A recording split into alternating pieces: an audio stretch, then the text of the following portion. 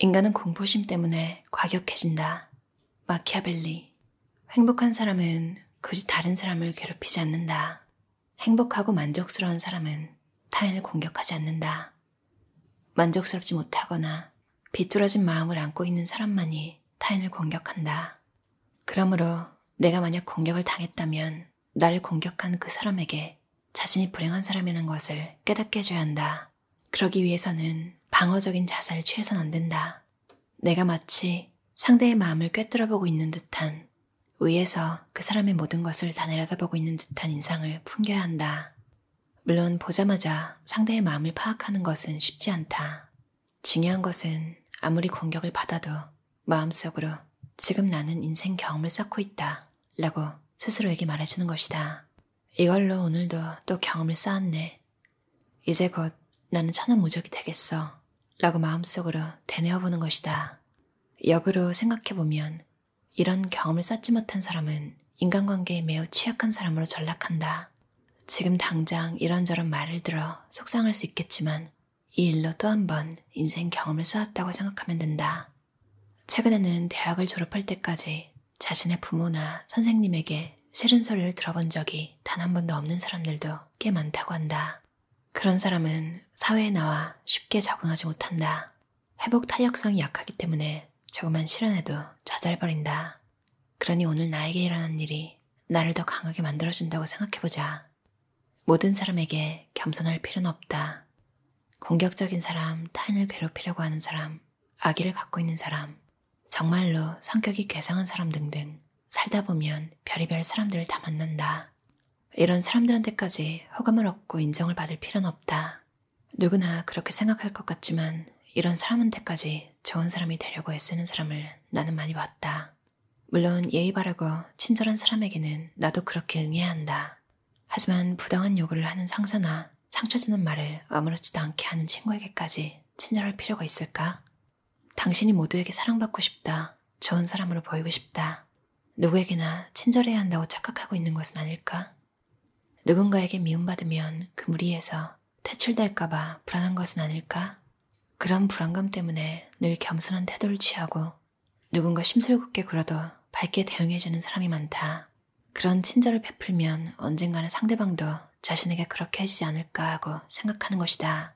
하지만 이것은 판타지일 뿐이다. 알다시피 현실은 판타지와는 전혀 다르다. 마키아벨리는 정량론에서 다른 인격을 연기하는 것은 경우에 따라 현명한 방법이 될수 있다고 말했다. 항상 좋은 사람이 아니라 일시적으로 다른 인격이 되는 것이 현명한 경우도 있다는 것이다. 자신을 공격하는 사람에게 좋은 사람이 될 필요는 없다. 오히려 그런 사람한테는 너무 좋은 사람이 되지 않도록 주의하는 게 옳다. 애초에 상대는 나를 공격하고 상처를 주고 괴롭히고 혹은 이용하면서 쾌감을 느끼는 사람이기 때문이다. 그런 사람에게 진정 좋은 사람이 되고 싶은가? 내 마음을 솔직히 들여다보며 천천히 생각해보자. 겸손의 미덕이 통하는 사람은 확실히 있다. 하지만 애초에 글러먹은 사람이 나의 겸손한 태도나 예의 바른 대응 때문에 바뀔 수 있을까? 세상에는 성선설과는 전혀 상관없는 사람들이 분명 존재한다. 그런 사람은 그냥 그런 사람이라고 생각하면 그만이다. 마키아벨리도 겸손의 미덕으로 상대의 거만함을 이길 수 있다고 믿는 자는 잘못을 범하게 된다고 썼다. 겸손의 미덕으로 공격적인 상대를 쳐부술 수 있다고 생각하는 것은 오산이다. 내가 겸손하게 처신하면 상대도 태도를 바꿀 것이다 라고 생각했다가는 내가 먼저 파멸하게 된다. 예를 들어 사디스트 타입은 처음부터 공격에 절대 저항하지 않고 반격하지 않을 것 같은 좋은 사람만을 골라 공격한다. 그러므로 누구에게나 친절하고 온화한 태도를 잃지 않는 좋은 사람일수록 오히려 공격받기 쉽다. 반복해서 말하지만 성선설만으로는 이 세상을 살아갈 수가 없다. 환자들 중에도 공격적인 사람이 있다. 마치 자신은 환자이기 때문에 무엇이든 용서받을 수 있다고 생각하는 것 같다. 그들은 간호사에게 성희롱을 하거나 폭언을 내뱉는다. 어이없게도 폭력을 행사하는 경우도 있다. 그런 경우에는 나도 의사로서 그만하세요. 라고 확실하게 말한다. 예전에 입원 중에 성희롱과 폭언, 폭력을 반복하여 강제로 퇴원을 당한 환자가 있었다. 그가 다시 몸이 나빠져 구급차를 불렀다. 그런데 그는 구급차가 도착하자마자 늦었다고 화를 내며 또다시 구급대원을 때렸다. 구급대원은 바로 경찰을 불렀고 그 환자는 상해죄로 체포되었다. 이렇게 폭력이 습관이 되어버린 사람에게는 의연하고 단호한 태도를 취하지 않으면 안 된다. 어떤 막말에도 대응법이 있다. 자기 자신의 마음을 지키면서도 상대의 공격을 겉돌게 만드는 기법. 갈등과 흥분으로 고조되는 분위기를 누그러뜨리고 더 나아가 같은 상황을 반복하지 않게 하는 기술이다. 즉, 싸워서 이기는 법이 아니라 싸우지 않는, 싸움을 피하는 어른의 대응법이라 할 수 있다. 그러기 위해서 현명한 말을 선택해야 한다. 그들이 내뱉는 심한 말, 도발적인 말, 친절한 말처럼 보이지만 실제로는 헐뜯는 말, 온갖 종류의 말에는 다양한 감정과 심리적 배경이 숨어 있다. 그것을 알아봐야 한다. 빈정거리거나 싫은 소리, 잘난 척하는 대사를 날리는 사람의 속마음을 다시 한번 이야기하겠다. 그 속에는 공포와 선망, 자신이 우위에 서고 싶다는 심리가 깔려 있다. 그것을 거꾸로 이용하면 아주 효과적이다.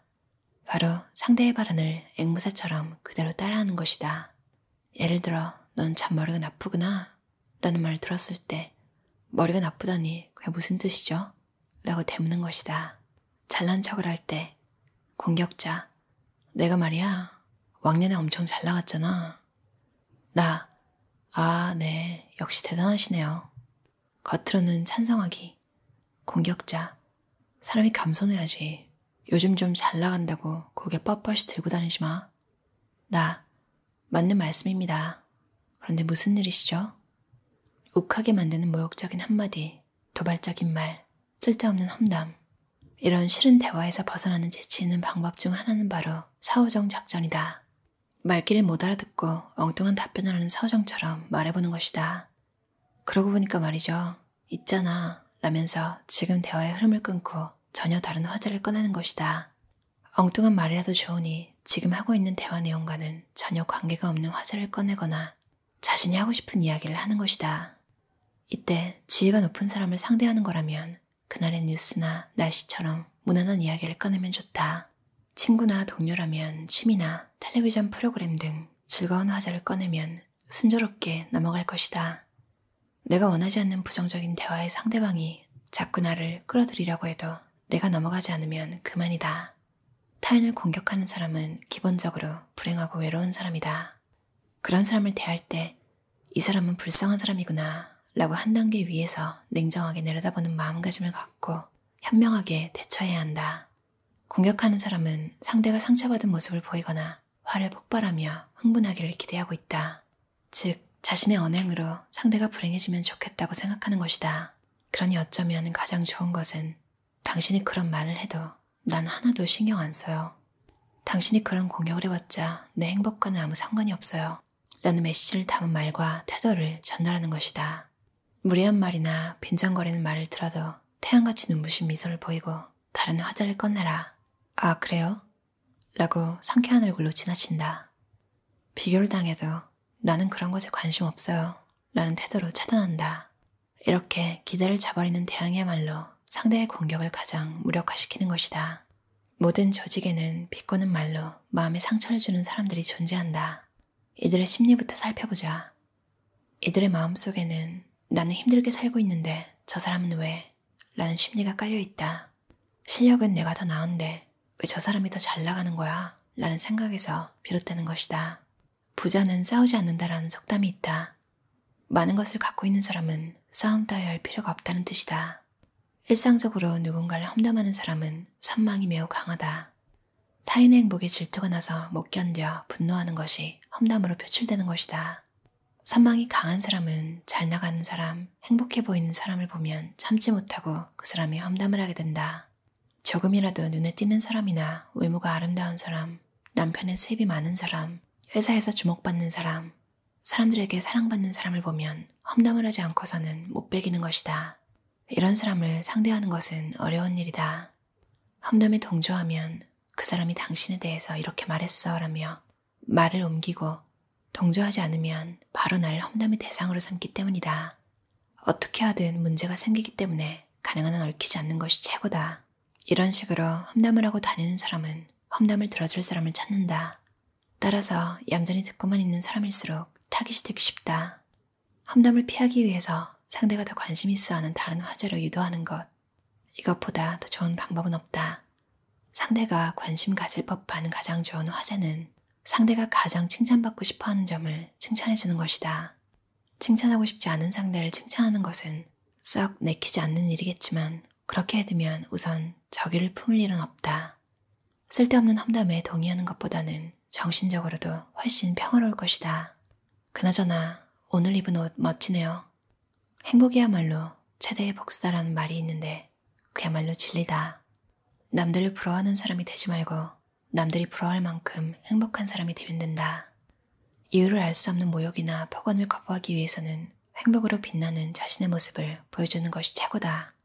당신이 아무리 공격해도 전혀 신경이 쓰이지 않을 정도로 난 행복하게 잘 살고 있어. 와 같은 자세를 보여주는 것이다. 이렇게 되받아칠 수 있다면 얼마나 멋진 사람인가? 자랑하는 심리에 대해서 라로슈프콘은 이렇게 말했다. 사람은 보통 칭찬받고 싶어서 칭찬하는 것이다. 즉, 타인을 칭찬하는 사람의 마음속에는 자신이 칭찬받고 싶다는 소망이 들어있는 것이다. 이런 서열 경쟁에 대처하는 방법은 서열 매기기에서 이탈하는 것이 최고다. 애초에 그렇게 험한 서열 전쟁에 들어갈 필요가 없다. 상대보다 우위에 서려고 하지 않는 것, 이기려고 하지 않는 것이 가장 현명한 대응이다. 눈앞에 상대가 칭찬해줬으면 좋겠다는 표정을 하고 있다면 그냥 칭찬해주고 넘어가면 된다. 친구인 척하며 공격하는 사람을 가리키는 프레넘이라는 신조어가 있다. 친구, 프렌드와 적, 에너미의 합성어인데 요즘 이런 단어들이 여기저기서 증가하고 있다니 걱정스럽다. 믿었던 친구에게 배신을 당하면 그 상처는 대단히 깊어 오래간다. 대학생인 H는 같은 동아리 친구들에게 남친과의 문제 등을 상담했다. 친구들은 정성껏 이야기를 들어주었기 때문에 다른 사람에게는 말하지 않던 비밀 이야기도 다 털어놓게 되었다. 그런데 H가 남친과 잘 안 되고 있다는 이야기가 금세 동아리에 퍼졌고 결국에는 남친의 귀에까지 들어가게 되었다. 그러자 남친은 어떻게 나랑 있었던 일을 여기저기에 다 떠벌리고 다니니? 라며 이별을 통보했다. 이런 친구에게는 뭐라고 말해줘야 할까? 우선 이런 친구는 선망 타입일 확률이 높다. H에게 남친이 있다는 게 질투가 나는 것이다. 더 나아가 H가 남친과 헤어지면 자신과 사귈 수 있을지도 모른다는 생각이 마음속 깊은 곳에 들어있을 수도 있다. 이것인 즉슨 선망 플러스 이득 심리라고 볼수 있다. 프레너미와는 친구로 지내지 않는 게 좋다. 오래된 친구여도 어쩔 수가 없다. 세상에는 그만 끝내도 되는 관계가 생기게 마련이다. 친구 사이에는 믿음이 있어야 한다. 내가 믿을 수 없다고 판단한다면 관계는 끝내는 게 좋다. 아니, 그런 관계는 반드시 끝내지 않으면 안 된다. 말로 이기는 것보다 더 중요한 것은 내가 행복해지는 것이다. 자신을 공격하는 사람에게 반격하고 싶다면 최고의 복수는 자기 자신이 행복해지는 것이다. 그렇게 생각하면 지금 당장 복수하지 않아도 상관없어. 라고 뒤로 미루는 여유도 생길 것이다. 내가 행복해지면 된다. 결국에는 행복한 사람이 이긴다 라고 생각하면 된다. 상대방의 말을 듣고 내가 괴로워하면 할수록 그 사람은 오히려 그것을 즐길 뿐이다. 그런 사람 앞에서 오히려 의연하고 담담한 모습을 보여주자. 같하다 담함이 저자의 아, 그때 이렇게 말할 걸 이라는 책이었어요. 할 말 제때 못해서 억울한 거 자주 느끼시는 분들은 확 끌릴 제목이죠. 아, 그때 이렇게 말했어야 되는데. 저도 그런 생각 자주 하는 편인데요. 정말 이렇게 쉬운 방법이 있었다니. 그러니까 도발을 하는 사람들은 사실 진짜 몰라서 그러는 경우도 있겠지만 웬만큼 정상적인 사고를 가진 사람이라면 안 할 말들을 던지는 거에는 나를 좀 얕잡아 보거나 나한테는 그런 질문해도 된다고 판단했기 때문에 하는 거잖아요. 혹은 그렇게 막말을 좀 해도 된다? 이렇게 생각할 수도 있고 뭐 그거랑 상관없이 그냥 원래 그런 사람일 수도 있고요. 근데 원래 그런 사람이라고 해서 내가 이해해 줄 필요는 없잖아요. 내가 싫으면 싫은 거고, 그걸 또 부드럽게 받아줄 이유는 없는 건데, 어, 뭐 그냥 똑같이 말하면 되는군요. 진짜 못된 말을 이렇게 들으면, 너 지금 무슨 무슨 무슨 이라고 한 거니? 이렇게만 되받아쳐도 상대방이, 어, 그런 거야. 이런 건 완전 오기로 하는 거고, 보통은, 아, 내가 그렇게 좀 심하게 말했네. 한 번은 좀 주춤하더라고요. 내가 가만히 듣고 있는 애가 아니구나. 라고 인식하면 좀 덜 그러더라고요. 어디에나 또라이들이 하나씩 있는데 참 그 사람들 보면 어딘가 항상 뭔가 결핍이 있잖아요. 그러니까 누구나 결핍이 있지만 그걸 회사에서 드러내거나 굳이 친구한테 혹은 가까운 주변 사람들한테 그 티를 막 내면서 그러니까 자기가 어디가 아픈지도 잘 모를 때 그러는 것 같아요. 보면 그 질투나 열등감 이런 것 때문일 때는 어, 그걸 딱 깨닫고 나면 창피해서 못 그러잖아요. 자기 인식도 보면 지능의 영역이 아닌가 이런 생각이 들어요. 그리고 제가 마지막에 읽은 frenemy라는 부분, friend, enemy. 친구긴 친구인데 얘를 믿을 수가 없는 거예요. 나를 언제나 배신을 항상 간간히 때리고 내 뒷말을 하고 내가 말 왜곡해서 전달하고 근데 오래 알았다는 이유로 참아주고 혹은 뭐 길게 알지 않았더라도 얘에 대해서 좀 믿음을 가지고 싶고 얘랑 친해지고 싶은데 계속 미심쩍은 일이 생기면 어쩔 수가 없는 것 같아요. 정말 믿음이라는 게 중요하잖아요. 같이 신나게 놀 때 이런저런 얘기하고 싶고 그런 시간을 가지게 되는데 상대방을 믿을 수가 없다면 뭔가를 같이 해봐야 시간 낭비가 아닌가. 여러분도 아마 정리한 프레너미가 있을 수 있잖아요. 그래도 가끔 후회한다는 생각이 들 때, 아, 좀 너무했나? 이런 생각이 들다가도 딱 이런 이야기를 또 보면 참 잘했다. 지금 내가 이렇게 회고하면서 후회할 수 있는 건 그 인연을 끊어냈기 때문에 그 후에 별 탈이 없어서 그런 걸 수도 있겠다. 이런 생각이 들었어요. 뭐 무조건 손절이 좋은 건 아니지만 내 인생에 너무 피해가 된다면 단체로 노는 게 아닌 이상 1대1로는 만나지 말고 그리고 마음속에서는 약간 거리를 두는 게 좋을 것 같아요. 오히려 그게 관계를 더 지키는 방법이기도 하더라고요. 1대1로 괜찮은 사람 있고 단체로 섞여서 놀 때만 괜찮은 사람 있잖아요. 그냥 뭐그 정도로 행복한 사람은 굳이 다른 사람을 괴롭히지 않는다. 누군가 여러분을 괴롭힌다면 그 사람의 인생이 지금 참 불행하구나 이렇게 생각하시면 될것 같아요. 근데 그게 여러분을 괴롭힐 명분이 되진 못하잖아요. 그러니까 보란 듯이 더 행복해져서 잘 살면 그 사람은 배가 더 아프지 않을까. 그거야말로 내가 굳이 복수하지 않고도 알아서 그 사람이 나가 떨어지는 그런 방법일 수 있을 것 같아요. 그럼 들어주셔서 감사합니다.